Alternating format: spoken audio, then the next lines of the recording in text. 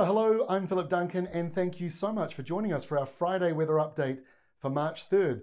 We're dealing with two severe tropical cyclones to New Zealand's north and a big weather pattern change coming for New Zealand. In fact, it might be our biggest one since last winter or even longer than that. So let's take a look and see what is happening. We'll start with the two tropical cyclones, Judy and the newly named Kevin. Now, Kevin was named by the Fiji Met Service. Uh, we've had a lot of comments about that name, a lot of references to Home Alone and to the American Office. Uh, apologies to anybody named Kevin, not mocking you, but the name is certainly um, making for some interesting conversations on social media. But the storm is a very serious storm. It's category three, severe, and it's getting stronger. It's going to get to category four, up to a scale of five. So this one is going to track in almost the exact same place that Judy just came in from.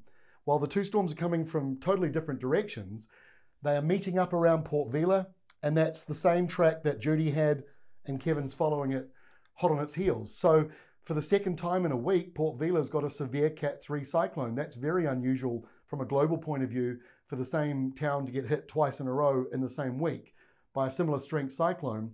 But it's not too unusual to actually see a cyclone followed by another one. We do actually see that when you've got the right breeding ground and the right conditions up here, two storms in a row, that's not so unusual. And we've also got this low here. They're all connected, these three. They're all tracking in the same direction. And that means New Zealand's pretty much away from it all. Why is that? Well, we've got high pressure parked over the top of the country. That's helpful. And an even more powerful high south of Australia. So take a look at the southern part of the map. I know the attention's up here, but look at this. From Tasmania to Stewart Island and beyond, there is a big storm in the Southern Ocean and it is sending up this big southerly change. That southerly will spread northwards. That's another guiding force to keep those storms to New Zealand's north. Here's the closer view of the storm this morning. Cyclone Kevin, Cat 3, getting stronger, growing to Cat 4. Thunderstorms, not as much as with Judy, but this was taken in the morning, only 8 o'clock in the morning uh, Vanuatu time. So as the day wears on, we're going to see that heat making for more thundery weather as the storm tracks along very close to Port Vila. Here's the tracking from the Joint Typhoon Warning Center. That's from America. They're kind of the global body for tracking cyclones, a little bit like how the USGS is for tracking earthquakes. And speaking of quakes, Vanuatu this morning, 6.5 earthquake, just 10 kilometers deep. So, a bit of rock and roll this morning underground. Now, above ground, in comes Kevin. Here was where Judy formed near Samoa, Kevin formed near uh, Queensland, both storms named by the Fiji Met Service. Draw a line halfway down the Tasman Sea. West of that, it's named by Australia. East of that, it gets named by Fiji once it gets to that criteria of gale force winds and lower air pressure. Let's have a look at the rainfall for New Zealand for the next three days ahead. Hawke's Bay and the Kaikoura Ranges both exposed because of a southerly coming in. So it's not the tropical rain anymore. Southerlies coming in and sort of piling up a wee bit.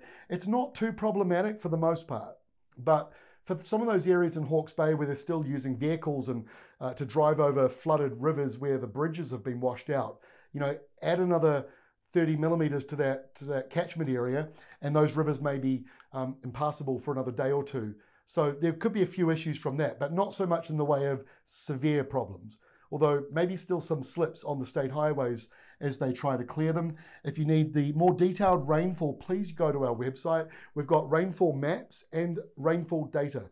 We get a complaint every single day on YouTube about this key. It's an international key. We don't make it. It's part of the global community. And like any key, if you focus on it, it does actually make sense. Unless, of course, you're colorblind, which is another issue, and we're working on that too. Well aware that if you're colorblind, a lot of these maps don't mean a lot, so we're trying to fix that for you. We're a very small company, there's only a few of us working here, but we are making some inroads in that for you as well.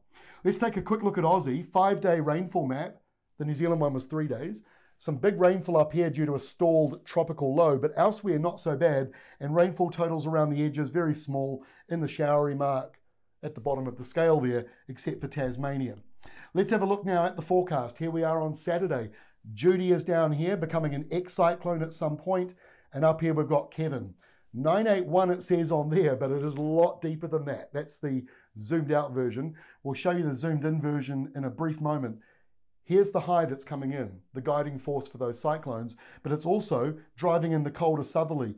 Unfortunately, the rainfall totals down in Southland in drought now, not as much as we'd like, because that high is going to come in and kind of stop the showery weather. So it sort of brings in the wet weather and then it stops it at the same time. So here's the closer up version of Cyclone Kevin. Vanuatu along here, 954, that's deeper than Gabrielle was, which is expected. It's, supposed to get to Cat 4. Gabrielle got to Cat 3. So this is a serious cyclone as it tracks through Vanuatu. New Caledonia out to the west, not as uh, seriously affected. So on Sunday, look at this. A low stuck here around northern Australia. Kevin and Judy. And then the former low that was stuck off the East Cape area. So this is a series of low pressure but there's a big block here of high pressure coming in, and that's really going to be our protective feature. But you can see why the Kaikoura Ranges and up here around uh, Hawke's Bay, why you're getting that wet weather from the southeasterly flow. Now, next week, these two storms are out to sea. Uh, around the Cook Islands, it might be a little bit wet, and around Fiji, certainly, you've got rain and showers lingering around there, but no storms in Vanuatu. There's the good news. That low still stuck around northern parts of Australia, and it's still there on Tuesday as well. Not very populated up there, but people do live there around that coastal area. So we've got some rain, and there could be more flooding in that very low lying area that you've got just down here to the south around Queensland. But look at this storm. Now, speaking of Australia, I'm sorry to use this 1980s um, cliche, but you call that a storm, this is a storm. Now, the air pressure 969, not as deep, but it shows you the difference between a tropical cyclone and an extratropical cyclone. Extratropical, it all fans out uh, and makes it very stormy for a long way, whereas cyclones, the worst weather is right near that middle part. So this one is classic autumn. And I said to you, we've got a big weather pattern change. Well, this is it. So as it moves on through next week, by Wednesday next week, that's the remnants of the cyclones merging together into a storm that's becoming extratropical. So it's going to get larger, but it's away from the Chatham Islands, it's away from the Cook Islands. So probably not a problem for most people. But look at this big autumn change coming in for New Zealand. Lots of windy westerlies, high pressure further north and in Australia too. That's what happens as we go through autumn. The, the big highs over New Zealand, they shift further up the screen and the storms in the Southern Ocean get closer as well. So our big weather pattern change is we're shifting from easterlies to westerlies. That is music to the ears of those who live in the east here but the downside is the southerlies that we're getting, like the one we've got in the next three days, that's the reason why you're still not out of the woods as far as getting rain into these flood hit areas. But anyway, that is all from me for today. We are back again next week on Tuesday. We're taking Monday off. Uh, we're a small company. There's only a few of us working here. I saw a comment the other day saying that we're a big corporate. Uh, we are uh, an official business partner of IBM. That means that we pay IBM.